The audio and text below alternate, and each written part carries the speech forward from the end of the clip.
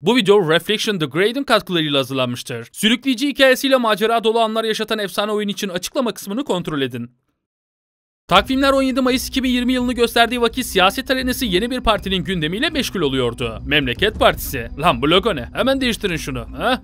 Şimdi oldu. Memleket Partisi Bülent Ecevit ekolünü benimsemiş bir kadronun öncülüğünde kuruldu. Gerçekten tarih tekerrür ediyordu. Genel başkan koltuğunda oturan Muharrem İnce 2018 yılında siyaset serüveninin en top noktasına çıkmayı başarmıştı. Cumhurbaşkanı adayı olarak geçirdiği bu dönemlerde mitingler onu büyüledi ve İnce bu kalabalıkta daha da gaza geldi. Fakat seçimden sadece bir gün sonra siyaset arenasından düşmüştü. Parti içerisindeki dedikodular ve kamuoyu yoklamaları Muharrem İnce'nin CHP'nin yeni genel başkan olacağını fısıldamasıyla mercekler CHP genel merkezine çevrildi. Cumhuriyet Halk Partisi tabanının bir bölümü Muharrem İnce'nin partiden fazla aldığı oy oranıyla büyülenmişti. Seçim kaybedilse de başta Muharrem İnce ve kimi çevreler CHP'nin 40 yıl sonra %30 barajını geçmesini başarı olarak gördü. Böylece Muharrem İnce'yi CHP genel başkanlığı koltuğuna layık görenler oldu. Fakat 2019 yerel seçimlerinde başarı kazanan CHP Kemal Kılıçdaroğlu'nun hanesine zafer yazdı. Böylece CHP'nin dışlanan çocuğu Muharrem İnce partiden ayrıldı, kendi partisini kurdu ve 2023 seçimleri için Cumhurbaşkanı adayı olacağını duyurdu. Tabi o zamanlar Muharrem İnce'nin Cumhurbaşkanlığı adaylığı çok da dikkate alınmadı. Zira muhalefetin iki yeni kahramanı herkese egal ediyordu. Ekrem İmamoğlu ve Mansur Yavaş. Ama Ekrem ve Mansur'un aday olmamasıyla ılıkkanlı muhalifler yeni bir aday arayışında Muharrem İnce'nin kapısına geldiler. Peki Ekrem İmamoğlu veya Mansur Yavaş aday olsaydı Muharrem İnce yine aday olur muydu? E, şimdi geçmişe dönüp bir şey söyleyemem ama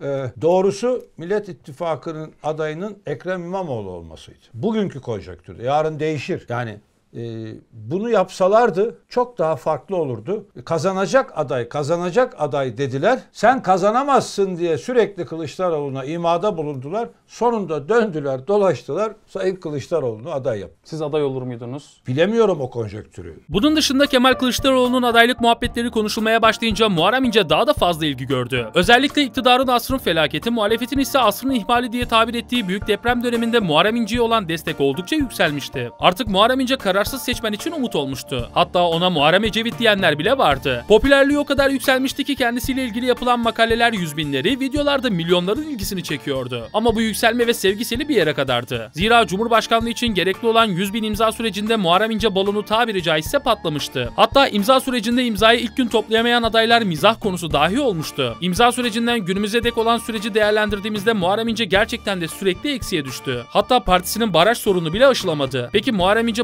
popülerliğinin eksiye düştüğünü düşünüyor mu? Gerçekten imza sürecinden Babala TV'nin fragmanına kadar olan süreçte eksiye düştüğünüzü düşünüyor musunuz? E zaman zaman yanlış işler yaptık. E, fragman izlenince insanlar beni e, kavgacı, sert bir imaj çizdi orada. Oğuzhan'a da kızmıyorum tabii ki. Oğuzhan da izletmek için böyle yaptı. Ama izlediklerinde durum değişti. Yani 10 milyonun üzerinde insan izlemiş. Pek çok insan e, bana e, mail attı, mesaj yazdı. Ya biz e, tanıtımı izleyince farklı, gerçeğini izleyince farklı gördük dediler. Ben e, bu işten karlı çıktığımızı düşünüyorum. Fragmandan sonra anket yapmadığım için bilmiyorum o süreci. Evet. Zafer Partisi ile seçime gitseydiniz seçilme parti olarak e, barajı geçme olasılığınız daha yüksekti. Fakat e, şu anki anketlerde anketleri geçtim bakış açımıza göre baktığımızda iki partinizde yani Zafer Partisi de Memleket Partisi de barajı geçemeyecek gibi gözüküyor. Bunu neden risk aldınız? Biz barajı geçeceğiz. Bizim de e, kendimize göre çalışmalarımız var. Ben geçen gün Karabük'teydim. E, yani hiç öyle taşıma maşıma yok. No, gerçekten bir bakabilirsiniz sosyal medyada. Karabük gibi bir yerde kendiliğinden miting oluştu ve hepsi 30 yaş altıydı. Yani gençler, e, biz gençlerle geçeceğiz barajı zaten. Buna inanıyorum. Biz kendi gücümüzü görmek istedik. Memleket Partisi olarak. 2 yılda 73 ilde örgütlenip 485 ilçede bayrağı dalgalandırmak ve seçime 81 vilayette girebilmek büyük bir iştir. Bunu başardık. Ben barajı geçeceğimize inanıyorum. E, bu konuda hiç kuşku duymuyorum. Ha, Muharrem İnce'nin oyları partinin oyunun biraz daha önünde olabilir. O makası da daraltmak için partiyi öne çıkartmak için var gücümüzle çalışıyoruz. Biz önümüzdeki dönem parlamentosunda kilit parti olacağız. Milli bir duruşu olan parti olacağız. Yani Libya tezkeresine evet diyen, Azerbaycan'a yardıma evet diyen, ne bileyim İHA'ları, SİHA'ları destekleyen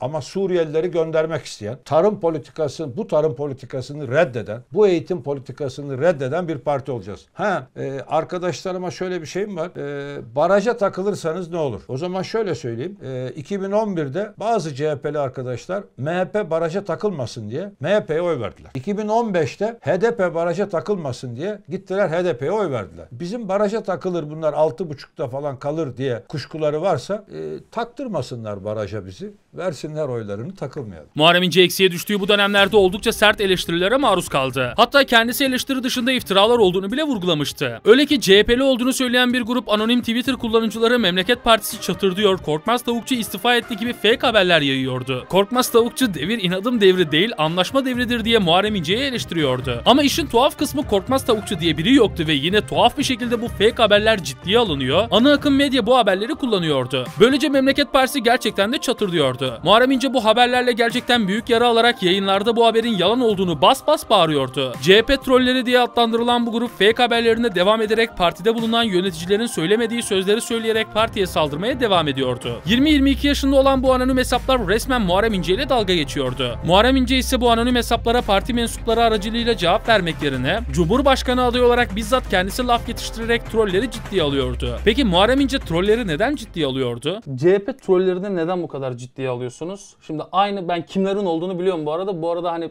ben para aldıklarını da düşünmüyorum. 20-21 yaşında bunlar genç kendi aralarında eğleniyor. Siz onları ciddiye aldıkça, sinirlendikçe sizin üzerinize daha da çok geliyorlar. Ya onları niye ciddiye alıyorsunuz açıkçası? Hayır ciddiye aldığımdan değil. Bakın bunu tekrar anlatayım. Şimdi sahte belgeler üreterek, sahte belgeler üreterek. Eğleniyorlar ama bunu. Hayır bunu onlar üretmiyor.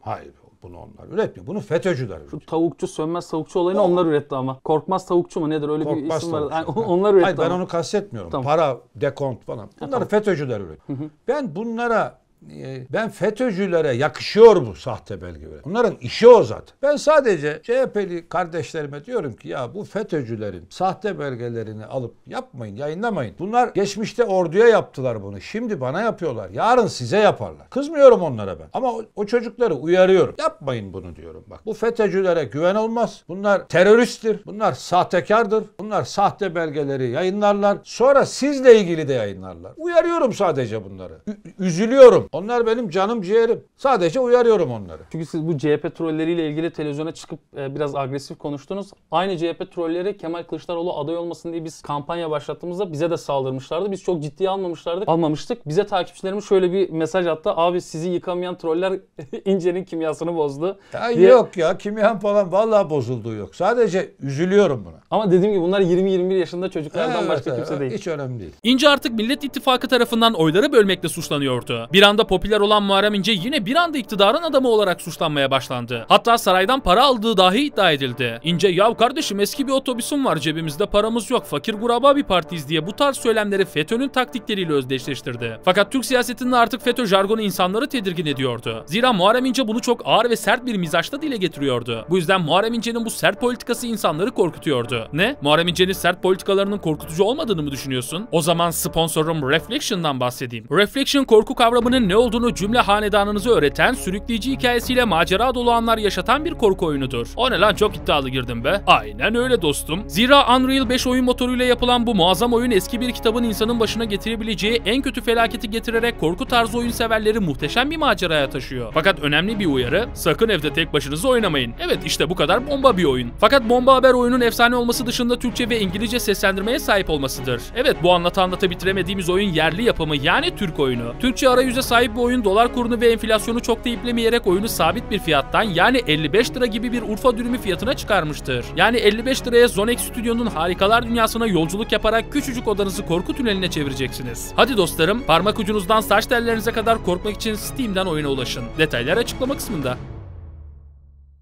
Aa, Muharrem İnce'nin sert söylemlerine dönelim. Evet, İnce'nin FETÖ tarzı söylemleri yeni bir soruyu akıllara getirmişti. Muharrem İnce tahsilli Erdoğan mıydı? Şimdi FETÖ tarzı az önce de söylediniz. FETÖ tarzı söylemlerden agresif biraz da bir agresif bir diliniz var. Ee, insanlar biraz çekiniyor ya FETÖ diyenlerden bazı insanlar hemen kaçıyor. Size bu yüzden bazı kesimlerde tahsilli Erdoğan diyorlar. Ne düşünüyorsunuz? Hayır canım Erdoğan e, Erdoğan demokrasiye Ama inanmıyor. tahsilli diyorlar. Ha, e, diplomam olduğu için. Aynen. E, Erdoğan demokrasiye inanmıyor, hukuka inanmıyor, bilime inanmıyor. Ben her konuşmamda bilim diyorum. Ya matematik diyorum, bilim diyorum, kuantum diyorum, nanoteknoloji diyorum. Ama ben tavır koyan birisiyim. Omurgalı siyasetçi. Dokunulmazlıklar konusunda partimle ters düşme pahasına hayır oy verdim. Deprem konusunu hiç gündemde yokken gündeme getirdiğimde ya boş işler söylüyorsun sen demelerine kulak asmadım. Devam ettim. Atatürkçülükten hiç taviz vermedim. Terörün her türlüsünü kınadım. Yani e, PKK demedim. E, IŞİD'i de kınadım, DHKPC'yi de kınadım, PKK'yı da kınadım, FETÖ'yü de kınadım. Omurgalı bir duruşum var benim. Bu bazılarının işine gelmeyebilir. Yani anayasaya aykırı ama evet diyeceğiz. Ben böyle birisi değilim. Anayasaya aykırıysa hayır derim ben. Duruşum var benim. Omurgam var. Bu ilkeli siyasetten vazgeçmeyeceğim. Bu ilkeli siyaset zaman zaman hırçın görüntü verebilir. Bu da bu ülkede yoksulluğun bu kadar çok olduğu, hırsızlığın bu kadar çok olduğu, yağmanın bu kadar çok olduğu bir ülkede zaman zaman sert tavırlar da gereklidir. Anladım. Muharrem İnce'nin bu zor durumda Cumhurbaşkanı adayı olması ister istemez yeni yeni teorileri de gündeme getiriyordu. Bunlardan en önemlisi de aday olarak CHP'nin işine çomak sokmasıydı. Yani şöyle soralım. Muharrem İnce CHP'den intikam mı almak istiyor? Şimdi ben CHP'nin gençlik kollarında görev yaptım. İlçe yönetimlerinde bulundum. İl başkanlığı yaptım. Milletvekilliği yaptım. Grup başkan vekilliği yaptım. Cumhurbaşkanı adayı oldum. Benim CHP'nin ilkeleriyle hiçbir sorunum yok. Kurucu felsefeyle hiçbir sorunum yok. Atatürkçüyüm. CHP kadın kollarıyla, gençlik kollarıyla, tabanla hiçbir sorunum yok. Onlar benim canlarım, onlar benim dostlarım. Fakat CHP'nin üst yönetimiyle benim problemim var.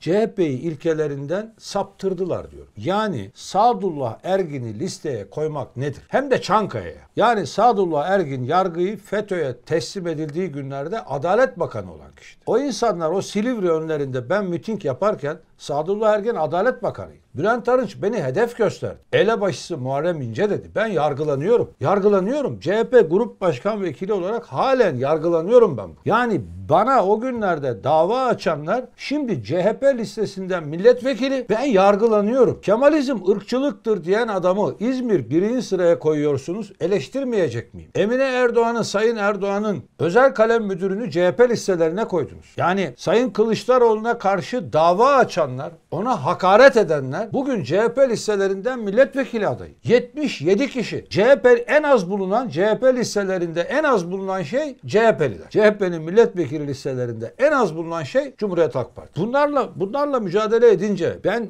neden intikam almak isteyeyim? Ben CHP'nin başarılı olmasını isterim. Ama bu yolla olmaz. Yani Erdoğan'la olmaz bunu söylüyorum. Erdoğan kötü yönetti Türkiye'yi. Ama Erdoğan'ın eskileriyle de olmaz. Hep söyledim. Bakın üç ittifak olmalıdır. CHP, İyi Parti, Memleket Partisi. Gerek yoktu diğerlerine. Onların oyu da yok zaten. Oyları da yok. Yani 77 milletvekilliği alacak kadar oyları yok. 7 tane belki. Yok ki bunlar. Bu yanlış yapıldı. Bu masa yanlış kuruldu diyorum. Ben bunu söylüyorum. Neden intikam almak isteyeyim ben CHP'den?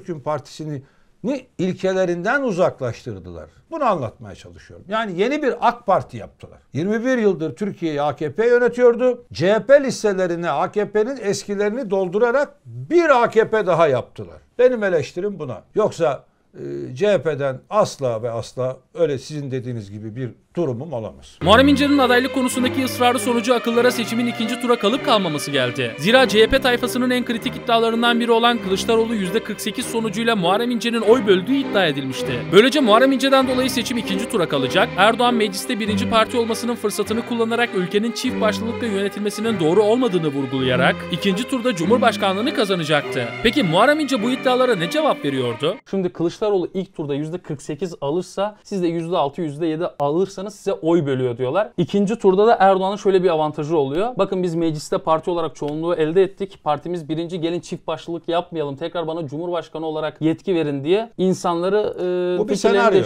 Bu bir senaryo. Bu tut olursa Hayır yani şimdi bakın senaryo 100 tane senaryodan bir tanesini tutuyorsun. Yani bir Kılıçdaroğlu'nu 48'e getiriyorsun ama Kılıçdaroğlu 48'e geliyor ama parlamentoda çoğunluğu alamıyor. Nasıl oluyor bu iş? Hayır alıyor olması lazım. Yani. Yani o 48 oluyorsa o da parlamentoda çoğunluğu alıyor olması lazım. Hem o hem o olmaz ki. Yani bu bu böyle düşünülmüş, e, üzerinde düşünülmüş, Muharrem İnce'yi nasıl zora sokarım? Şöyle şöyle şöyle olursa ne yaparsın? Ama böyle bir şey olamaz ki. Yani hem 48 alacak hem parlamento çoğunluğunu almayacak. Bu ikisi birden olmaz. 48'i alıyorsa parlamento çoğunluğunu da alır. Parlamento çoğunluğunu alınca ikinci turda seçimi çok daha rahat alır zaten. CHP kaybederse belli bir kesim suçu yine size atacak. Evet. Bunu riske alıyor musunuz? Hiç bana atamazlar. 17 parti bir araya gelecek. 17 parti. 11 büyükşehir belediyesi bir araya gelecek. Trilyonlarca lira hazine yardımı alacaklar. Halk TV'leri var. KRT'leri var. Tele1'leri var, trilyonları var, gazeteleri var, paraları var, onlarca otobüsleri var, uçakları var. Bunlarla beceremeyecekler. Muharrem İnce bir telefon, bir otobüs var suçu bana atacaklar. Bu bu şimdiden daha kılıf hazırlamalarıdır. Bu kılıfı hazırlamasınlar. Buna kimse inanmaz. Gitsinler, ikna etsinler milleti, oy alsınlar, seçimi kazansın. Muharrem İnce'nin adaylık meselesi karikatürlere bile konu olmuştu. Yapılan karikatürlere göre Muharrem İnce farkında veya farkında olmadan AK Parti'ye hizmet ediyordu. Peki Muharrem İnce bu karikatürlere ne diyordu? Öznur Kalender'i tanıyor musunuz? Evet, biliyorum. Yani. Sizinle ilgili birkaç karikatür çizdi. Ben de bunu size göstermek istiyorum görmediyseniz. Tabii ki. Bunun hakkında ne düşünüyorsunuz? Bu sizsiniz. Erdoğan ve Devlet Bahçeli. Yani CHP'nin kalesi. Bir tane daha göstereceğim. ya sanatçılara saygım var ama e, katılmıyorum tabii ki. Yalova'dan Doğan Güneş, Muharrem İnce, Erdoğan'la Devlet Bahçeli. Yani, yani çizmekte Yorum